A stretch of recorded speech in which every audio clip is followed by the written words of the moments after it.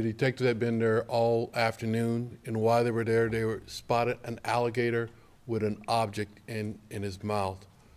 As the, as the detective got closer, they fired one round uh, to the alligator. The alligator dropped the object that he had in his mouth, and we were able to retrieve Taylen's body intact.